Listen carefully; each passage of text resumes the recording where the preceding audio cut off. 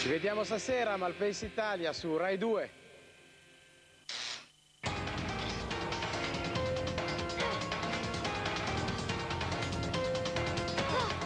FBI, apra la porta! Jack Malone e il suo team continuano la loro sfida contro il tempo. Sempre più impegnativi, coinvolgenti e appassionanti i nuovi episodi della squadra speciale dell'FBI che ha una sola missione: ritrovare persone scomparse. Senza traccia, la quinta stagione in esclusiva. In prima visione, prossimamente, come sempre, nel rosso di Rai 2. Buonasera, vi ricordo che alle 18.30 andrà in onda la prossima edizione del TG2. Alle 19 con Francesco Facchinetti, X Factor, l'appuntamento quotidiano con il talent show della musica targata Rai 2. Lo spazio dedicato all'informazione del TG2 come di consueto è alle 20.30. Questa sera alle 21 in prima visione i nuovi episodi della quattordicesima stagione di IAR, Medici in prima linea, programma adatto al solo pubblico adulto. Seguirà alle 22.40 Justice nel nome della legge. Chiuderà la serata alle 23.45 Malpensa Italia, il programma di approfondimento giornalistico condotto da Gianluigi Paragone. Vi auguro una buona visione e arrivederci a più tardi.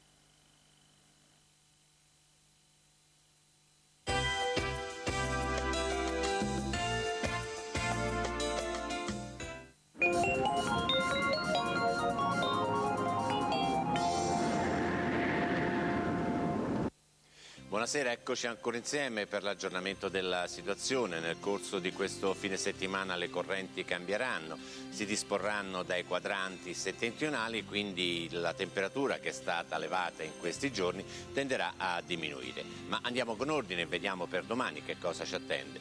Sulle regioni settentrionali ancora un cielo nuvoloso con piogge, qualche temporale sul settore orientale, mentre su quello occidentale nel corso del pomeriggio avremo delle schiarite. Nuvoloso anche sulla Sardegna e sulle regioni centrali con piogge sparse, inizialmente invece della variabilità al sud della nostra penisola, ma la tendenza qual è? È per un aumento di nubi, specie sul settore occidentale, associato a precipitazioni.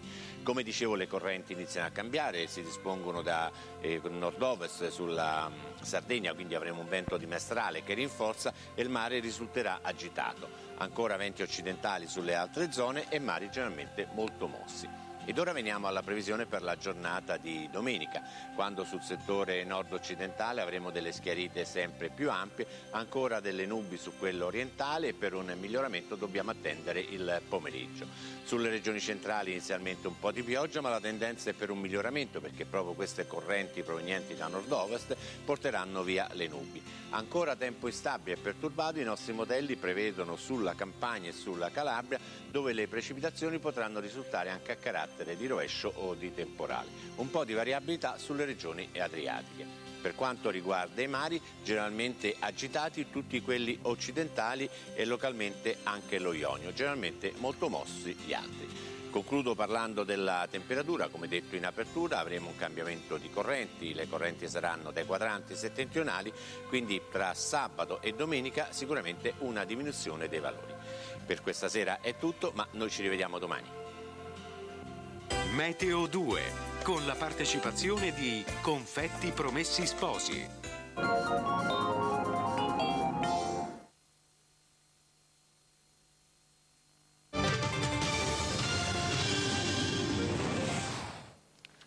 Buonasera e benvenuti a questa edizione delle TG2 LIS Lingua dei Segni Italiana. Dopo un lungo confronto il Consiglio dei Ministri ha varato un eh, decreto legge sulla vicenda di Eluana Englaro, malgrado il Presidente della Repubblica Giorgio Napolitano non abbia firmato il decreto varato dal Governo perché incostituzionale. Il provvedimento adottato dall'esecutivo impedisce la sospensione dell'idratazione della nutrizione artificiale di Eluana Englaro fino a quando non verrà approvata una legge sul testamento biologico. Il Consiglio dei Ministri ha anche approvato il pacchetto di misure anticrisi e ha dato il via libera agli incentivi per chi rottama le automobili più inquinanti. 1.500 euro di sconto per l'acquisto di vetture Euro 4 ed Euro 5. Per l'acquisto poi sono previste detrazioni anche per chi compri mobili oppure una nuova lavatrice, misure che nel complesso prevedono all'incirca un miliardo di euro. A Perugia questa mattina, seconda udienza del processo a Raffaele Sollecito e ad Amanda Knox per l'omicidio di Meredith Kercher, presenti in aula gli imputati che hanno sempre respinto l'accusa di essere coinvolti nel delitto. In aula c'era anche il padre di Amanda e lo zio di Sollecito. Per l'omicidio è già stato condannato a 30 anni di reclusione con rito abbreviato Rudy Guedet. In Brasile si riapre il dibattito sull'estradizione dell'ex terrorista Cesare Battisti, importante appoggio del Parlamento europeo all'Italia che chiede a Brasilia di rispettare le nostre sentenze. A Bologna una quattordicenne è morta una settimana dopo aver subito un intervento per ridurre una scoliosi. La ragazza aveva subito un arresto cardiaco durante l'operazione e la magistratura ha ora aperto un'inchiesta. Per il momento ci fermiamo, il TG2 torna come sempre tra poco alle 18 e ora a Rai Sport. Arrivederci.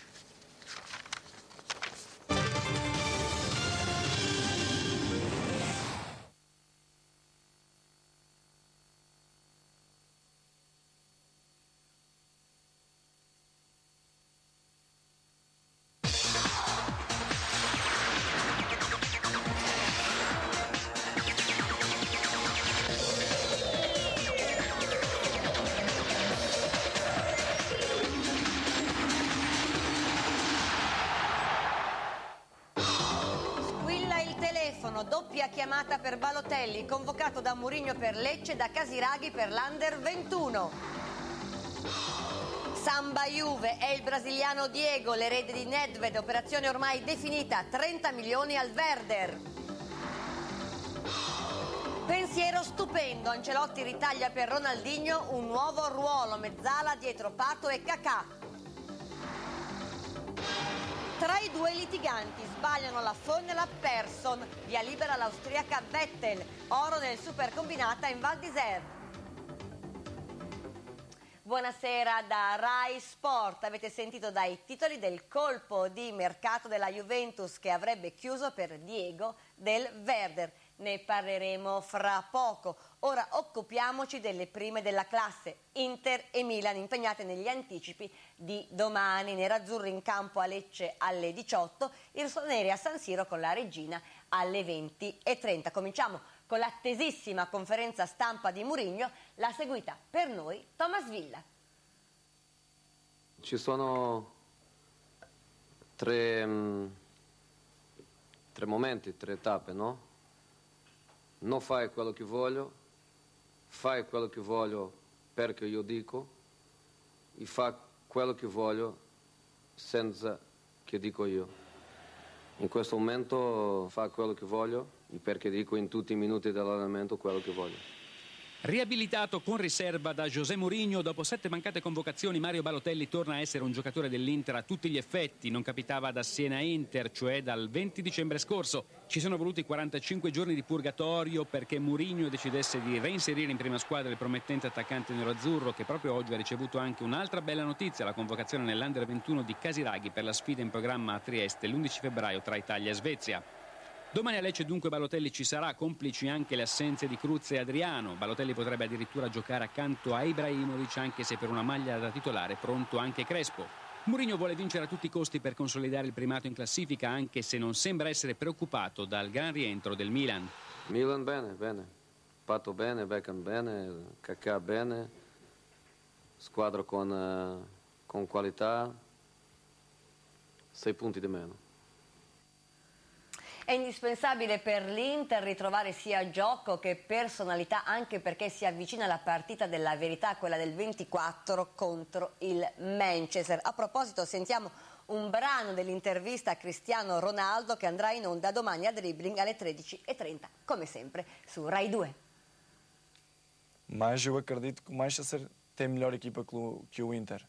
Credo che il Manchester abbia una squadra migliore rispetto all'Inter. Certo, li dovremo affrontare con molta cautela e professionalità. Sarà difficile, ma abbiamo più chance di passare. Cosa devo fare per rivincere la Champions? Devo giocare contro i migliori. Incontriamo l'Inter? Non è un problema, dobbiamo andare avanti. Se battiamo l'Inter, siamo a un passo dalla finale. E ora guardiamo insieme gli arbitri designati per la ventitresima giornata. L'anticipo fra Lecce e Inter vedrà diretto dal signor Tagliavento, Milan Regina il signor Pierpaoli, Catania Juventus Morganti, Rocchi dirigerà Roma Genoa e De Marco Fiorentina Lazio. E allora dicevamo alle 20.30 l'altro anticipo fra Milan e Regina con tre grandi giocatori sotto la lente di ingrandimento, Beckham, Cacà e Ronaldinho. Oggi ha parlato Carlo Ancelotti, il servizio di Tommaso Rocchi. Squadra a Pentagono non sarebbe male. Eh? A Pentagono col trecante. Ancelotti scherza, ma non troppo. Pato e Cacà là davanti sono inamovibili, ma contro la regina la tentazione di provare Ronaldinho nel ruolo di trequartista è forte. Ronaldinho se dovesse giocare gira un po' più dietro, anche se magari può essere un po' più decentrato, poi la posizione se la troverà lui. Rombo, un trequartista, due trequartisti, non è che cambia molto. Non è che viene scombussolato tutto se invece di un trequartista non è proprio un rombo, diciamo che potrebbe essere un pentagono, diciamo così. Ma la squadra non è che sta andando bene perché non c'è Ronaldinho, la squadra sta, sta andando bene perché eh, ci sono una serie di circostanze, come abbiamo detto, la velocità degli attaccanti, la condizione di forma di Cacà, la qualità di Pirlo, l'innesto di Beckham. Non è che questa squadra ha trovato l'identità senza Ronaldinho, non è assolutamente vero, Ronaldinho ha fatto delle ottime partite nel girone d'aldata, ci ha trascinato nel momento di difficoltà, credo che a maggior ragione se dovesse giocare adesso avrebbe sicuramente meno difficoltà rispetto a, quelle che magari può aver incontrato nel girone di andata.